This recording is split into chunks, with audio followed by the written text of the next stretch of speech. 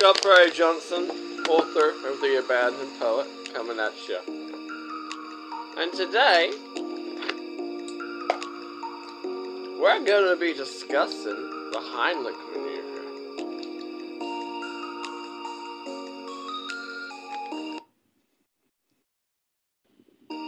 You don't want to die, does ya?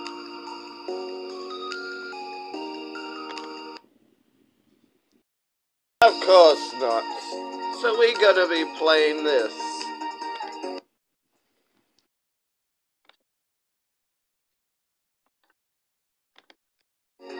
Love sighs and raps and sucks on a lollipop.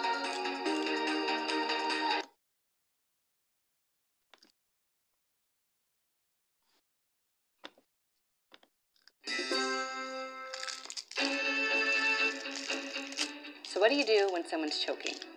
Say you and a friend are out um, in a restaurant and all of a sudden they start choking. So, I'm going to have my friend Hannah come over here. And we're out, we're having a good time, we're eating, and all of a sudden she seems like she's choking. First, you ask, Are you okay? And oftentimes, the international sign for choking is this, okay? They'll like, I can't breathe, something's going on. If you're around other people, you want to get them to help you. You want to, if you're in a restaurant or a place of business, have someone, uh, you know, call out for help and have the people help you out. Tell them what you're doing. Don't just attack them because that will just heighten their anxiety and their panic. So, what you're going to do is you're going to stand behind them and you're going to wrap your arms all the way around, okay? And you want to try, you find their belly button with your pinky, make a fist, put the pinky on the belly button, then roll it up so your thumb is, your, the knuckle of your thumb is right there. And then you thrust, you pull it in and up, and I'm not going to do it as hard.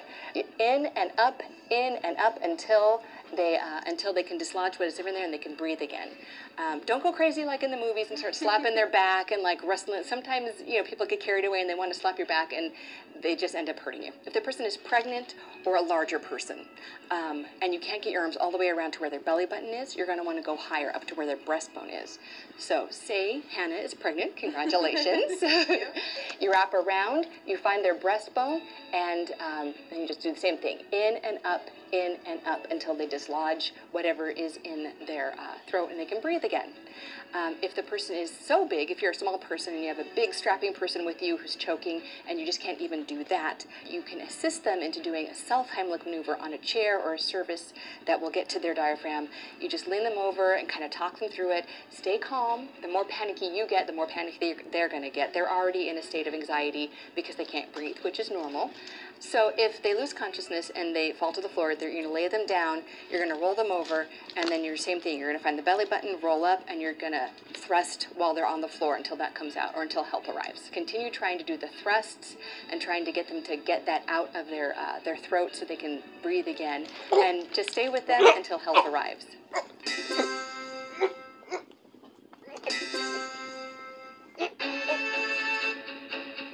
So what do you do when someone's choking? Say you and a friend are me out just do that. um, in a restaurant just tried to reenact it. and all of a sudden they start choking. So I'm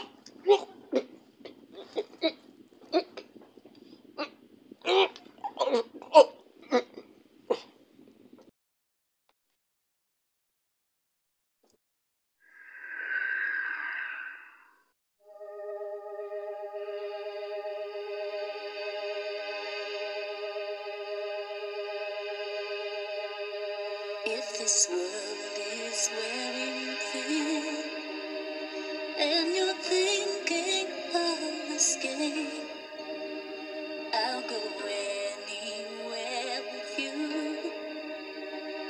Just wrap me up in chains.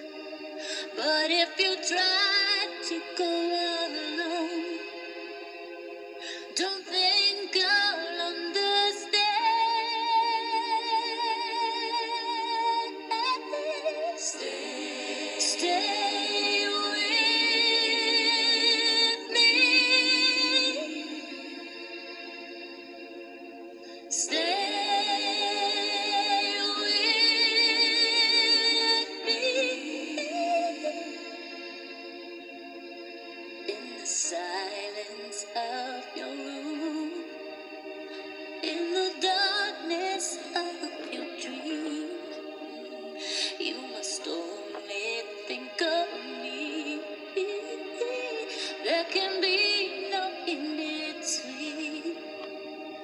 when you're proud.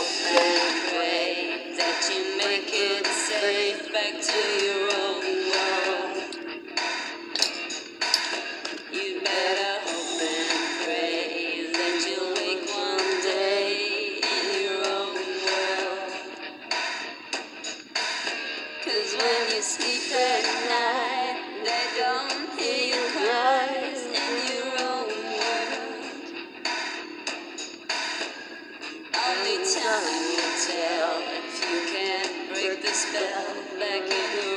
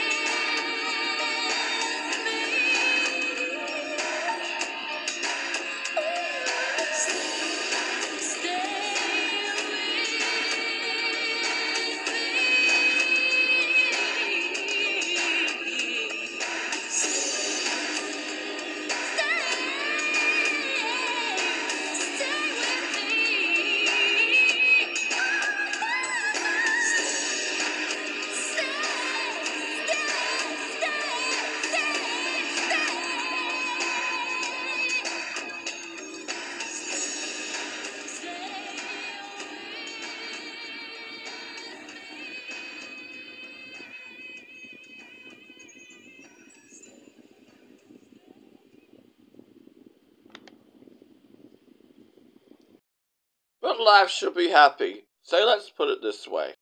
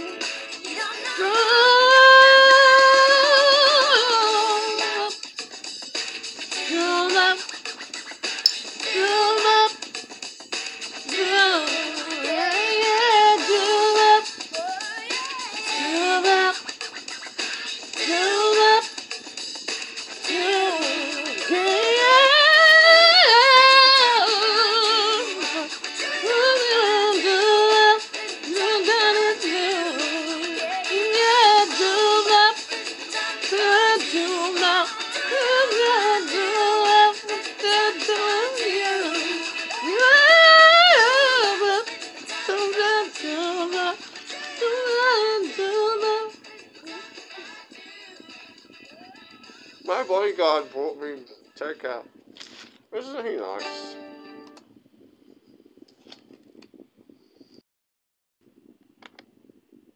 Pain is tearing up my.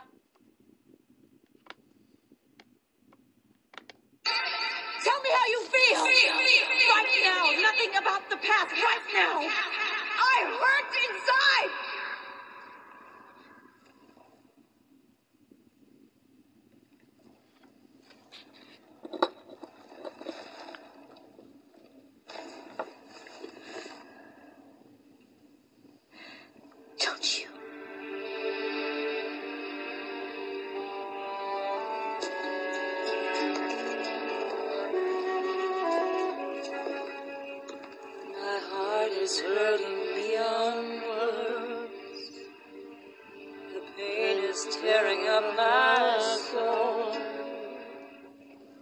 These days have seen my spirit die. My life propelled out of control. My wounds lie naked to the world.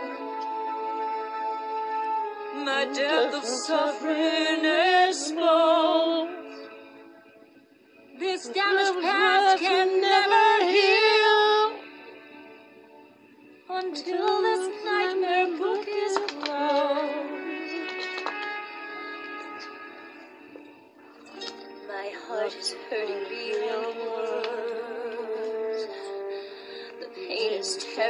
my soul.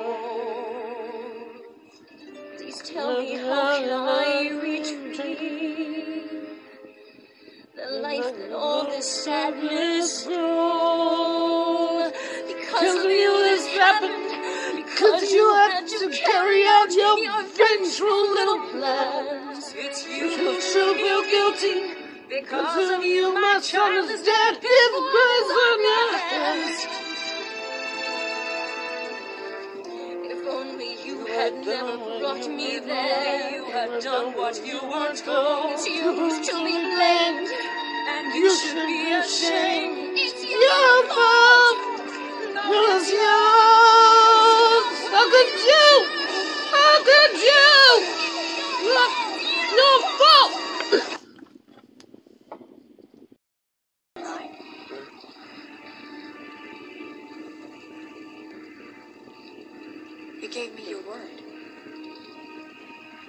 You lied.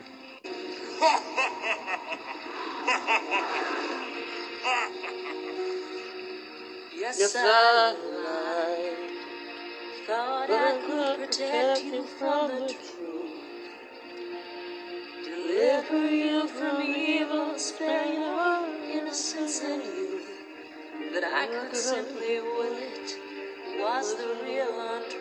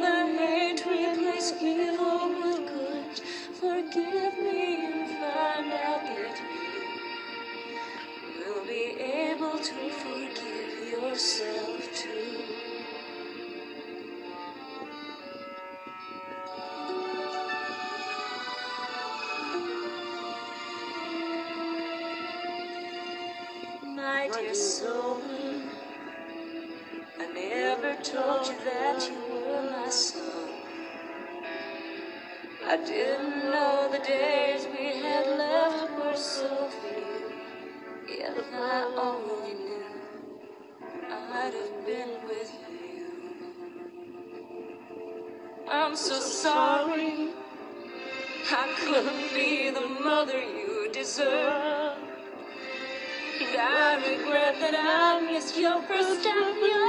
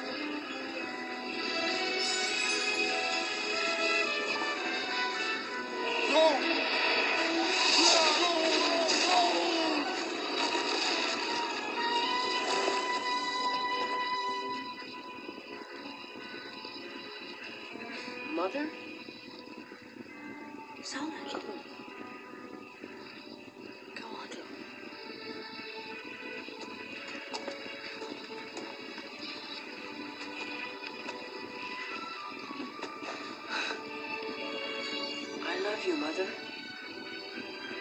I love you so. I love you.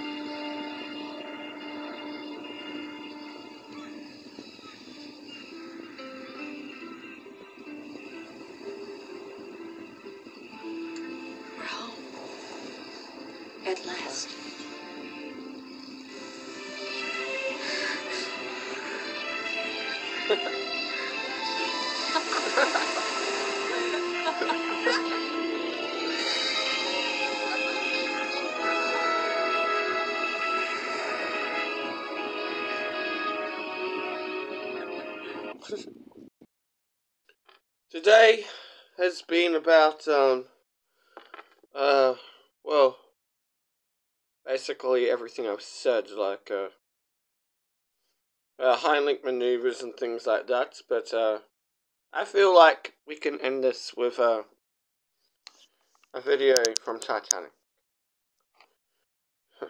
feel another copyright claim coming my way. Uh, it, it's only appropriate with this. There we go.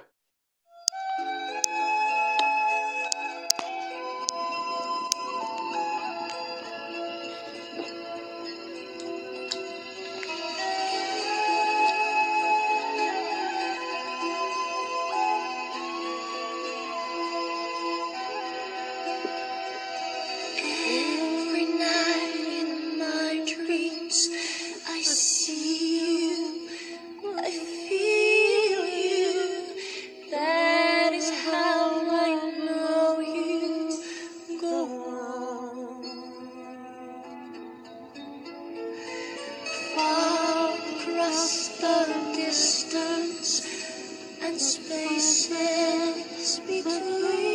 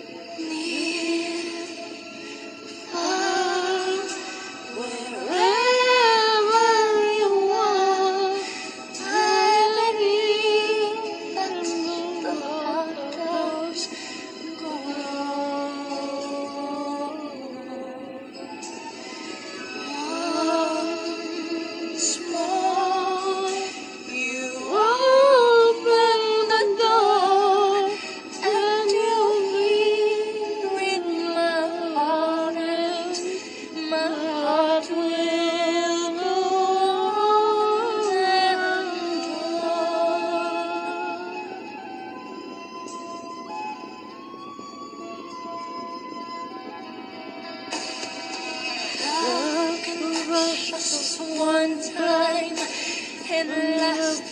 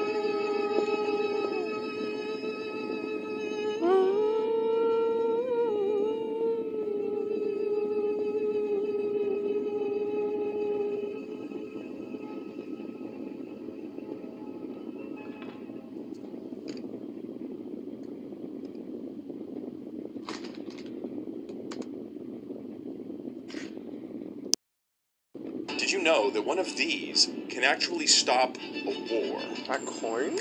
And I'm going to tell you how. Welcome to Wisdom in the Word, where we study the biblical art of wisdom. Proverbs 18:18 tells us how flipping a coin can stop a war. It says here that casting lots causes this. contentions to cease and keeps the mighty apart. Okay, to understand this passage, we first have to understand what's meant by casting lots. The idea of casting lots means doing something random. So, like rolling dice, flipping a coin, drawing straws, something where no human is controlling the outcome of this thing so that we can say the results are truly random. So, that's what's meant by casting lots. Um, contentions, of course, refers to a, a dispute or disagreement, an ongoing sort of angst filled disagreement between two people or two parties. And then keeping the mighty apart. This is strong people, people with power, with authority, people who have the ability to influence the people around I them. got a bodyguard. And they are not to be in conflict. That's a bad thing, generally speaking, when you have mighty or powerful or influential people who are I'm in humble. conflict with each other. In a household, this would be the mom and the dad in conflict with each Uh-huh. other. In a in businesses, this would be two of the bosses not getting along, two teachers in school unable to get along, two pastors not getting along, and having contentions over the disagreements they have because they both have some authority and they're both using this authority in disagreement with the other person. They can't come to an agreement on what course of action should take place or how something should play out. This is why bands break up, okay? This is this is why sometimes ministries split. This is a sad reality in life. And the Bible tip, the wisdom that we're learning here is that I'm sometimes Bible. occasionally I read a when two people with authority can't agree, they should just flip a coin. They should just let it be random. Let the results be decided by something other than one of these two people. And that way they can maintain their relation. I'm basically a teenage author. And he wrote it when I was 22. I was like barely in adulthood. I guess I'm more intelligent than all of you. Get over it. because so often it's not worth sabotaging a friendship or a partnership over a disagreement on how things should be done. But it's hard to decide who's going to make the decision. So you leave it up to randomness. You can't apply this to every situation in life. Sometimes it's a safety issue and you can't give up your your fight for safety in this particular area. Other times someone's asking you to actually give up a rightful authority position and making things random over and over again causes you to simply have no control where you ought you ought to be controlling. I do, I do apologize. Uh, religion makes me tired. I mean, I, I know, I know it's an invention, and and and, and I know it doesn't exist, but there are a bunch of fucking idiots on the face of the earth that think it does. So I'm, I'm gonna take a nap with, with the rest of this. something that's going on here. No, the issue here is not uh, to make everything random forever. That would be very unwise, and that would be a wrong use of proverbs. But I, rather to say I, it's I, I, I know, I know it's going to make things random. Religion does not exist. I'm just trying to make some points here. Religion is an invention because people are scared to die. Nothing more, nothing less. I can't wait to die. at some points, I'm going to avoid contention and the disagreement by just flipping a coin or by making something totally random. What what you hear is this person acting like a fucking retard. He is. He really is. And I've heard many people like this on a crappy site called Power Talk I keep on using. What is wrong with me? Yeah, this guy with the glasses on, the hair with the receding hairline, which I don't have luckily, and the bad shirt. I mean, it, the only reason he's talking about religion in the, in the first place is because he's unattractive. Believe me, appearance has a lot to do with things. It's true. You think I was kidnapped five times in a row? Well, four times in a row. Once when I was a teenager. Let's see what this asshole has to say next. This could be great wisdom, and it will require an element of humility, uh, but it will keep the mighty from battling. And that is a good thing. Another verse that comes to mind as I talk about this is the scripture in Romans that tells us that we should, as much as it depends on us, we should be living peace. Wow. If he were attractive, he would not be preaching religion. That's all I know. peaceably with all people. So I should be making an effort to seek peace. Let peace be uh, something I'm really reaching out for. And in my book, my catchphrase is I fight for truth, I fight for justice, I fight for you, I am the abandoned poet. And we got this fucking idiot preaching on. I hope you love my bad language. and really trying to create at the expense of my own pride and sometimes at the expense of my own plans. I'm Mike Winger, and if you want to learn to think biblically about everything, I encourage you to check out BibleThinker.org. Did you know that one of the Well, the abandoned poet fights against people like Mike Winger. He is a fucking retard. Not that there's anything wrong with retards. I'm a retard myself. I'm Asperger's. And my bodyguard has cerebral palsy. But this guy is just a fucking idiot. Sorry. The abandoned poet has spoken.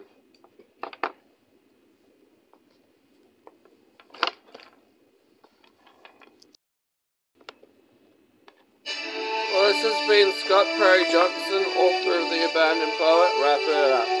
Sorry for insulting a few people. But, uh, yeah, I do know stupid people when I'm around them. I talk to enough online on Power anyway. Well, let's upload this video. Thanks. You guys take care and do something good for each other. Go and pick up some takeout for your family. Do something good. My bodyguard brought me takeout more than once in one day. Huh. Bye for now. I hope I'll see you guys around. I saw someone at a train station once. It's kind of weird being known in public for my videos. I'm calling my mouth full. But you already knew I was already. Mm, mm.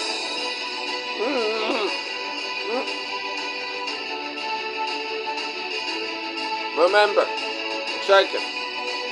We already discussed that. I, I was just following her lead, but uh, yeah, we, we all got it there now. You have no excuse not to Heimlich someone. Alright, been Scott Perry Johnson, author of The Abandoned Poet. Um, signing out. Bye. Thanks for being enemies and fans. Yeah, I'm cheeky. Bye.